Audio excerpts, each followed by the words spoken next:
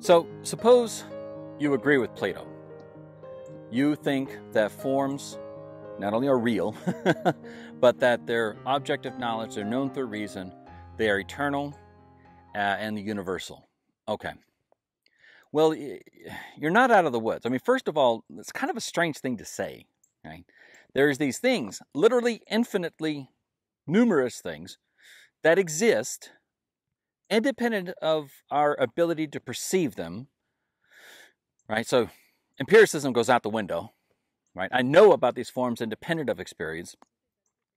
Uh, and they're separately existing from all these things.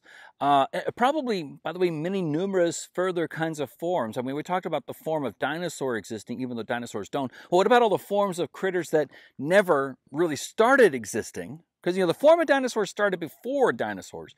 So there's all kinds of critters that exist regardless, uh, uh, oh, sorry, all kinds of forms of critters that exist, uh, whether any particular case came up. So, I don't know, the uh, uh, duck-billed giraffe, Sure. The flying hippopotamus. Okay. All right. These are forms. All right. So you, have got to, you're committed to the existence of a lot of these things, infinitely many things, and some bizarre things that uh, exist that have never been seen and can't be seen. You, you can't causally interact with these forms. Hmm. So, uh, that that's one big thing right off the top. You're committed to the existence of these probably a little bit crazy things. That's one big thing.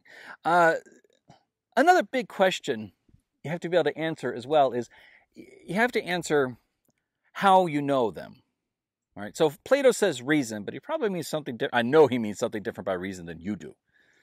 Um, you know, for Plato, what he means reason, he means specifically recollection. So let, let me just let me just give an example, right? So for Plato, you know these forms already. They're somewhere in your head.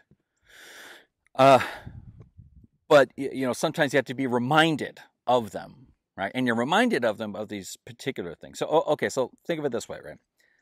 So we have this figure here. What is it? Right, it's a square. Okay. Now now take a look, see what happens.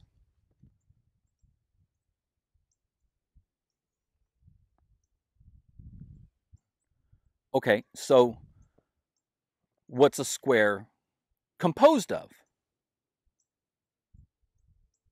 Right, what, what figures make up a square? Right, good. Right. Uh, by the way, it doesn't, it, more than just squares, right? Any rectangle. Right, so look at this. Of a wide variety of shapes. Right, it's still there right? It's still composed of these other figures. Hmm. Well, that's that's a rectangle. What about um, the five-sided figure, uh, uh, pentagon? Same thing. Sure. Right. In fact, there are as many of these smaller figures as there are sides. Hmm. So you kind of keep going. Right? Uh, what about uh, a six-sided figure, hexagon? Yeah, sure. There it is again. Right. Uh, uh, seven-sided figure. I think it's called a heptagon. Heptagon. yeah, same thing. Eight-sided figure. Right. Oh, oh okay. So, so here's a question: Could we keep going with these different sided figures, composed of these smaller ones? Yeah, Right, we could keep going. You know, try to imagine. Is there is it possible that there's a sided figure like this that is not composed of these triangles? Now, circles don't count, right? Circles aren't composed of sides; they they have arcs, right? something different. But I'm just talking about figures, right? These uh, composed of uh, where sides are, are line segments. Yeah, it, it doesn't matter how many sides you have, it's composed of these triangles. It's composed of these triangles. You just keep going. Okay. Well, let's get back to, I mean, we started with rectangle. All right, that's great. What about triangles? Here's the triangle. Is it composed of something smaller? Okay, is it a particular kind? Right. Right, we got a particular kind of triangle there. Well, what about this side, this triangle? Right, you, know, still composed of the further kind of triangle, right? If you not remember your geometry, it's a right-sided triangle, right triangle. Let's try this one. Yeah, again, composed of right triangles. In fact, you know, look at all these different kinds of triangles that we have.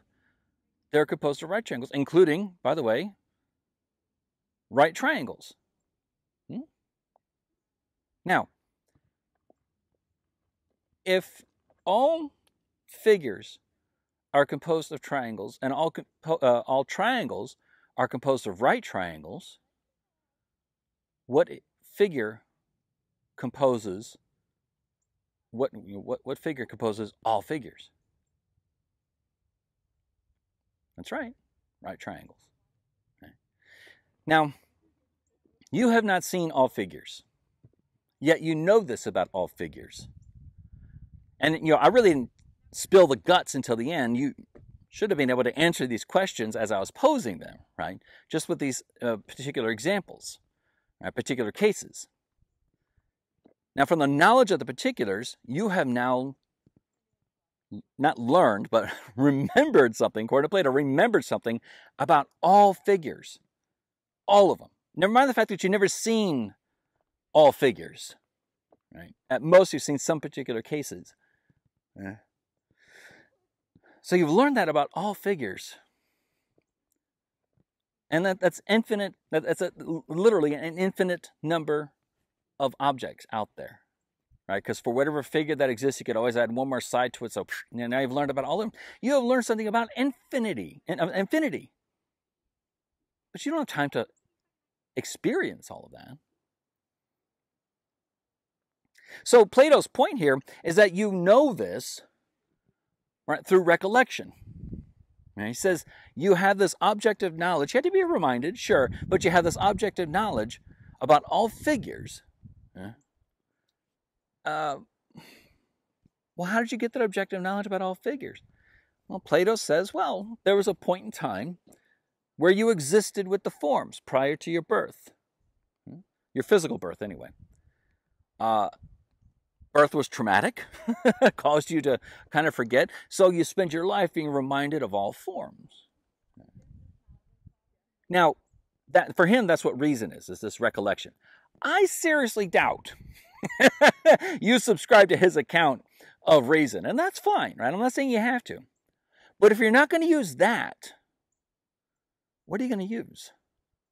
Because now you have to explain. I mean, the example is still a good one, right? You now have knowledge about an infinite number of objects, namely all figures. Right? They're all composed of right triangles. How did you learn that? How did you come to know that? Because it wasn't through experience. Because you, you didn't experience all the figures. How did you come to learn about the infinite? If we say it's reason, great. What is that? So if you accept Plato's view, you got to account for this.